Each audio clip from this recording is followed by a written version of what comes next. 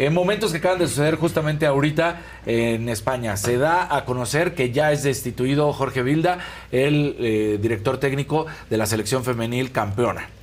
Ya anunciaron quién es la nueva directora técnica de, de España, lo cual, pues aquí, aquí está la, man- la manera en que la Real Federación Española da a conocer que ha sido separado del cargo, Jorge Vilda. La nueva directora técnica se llama Monse Tomé, es la nueva seleccionadora, me parece que además está tratando de limpiar imagen en todos los sentidos. Ma- además de esto, ponen un comunicado, todo acaba de pasar ahorita mientras platicábamos, eh, un comunicado en el cual ofrecen disculpas por la, por la acción y porque mancharon el festejo.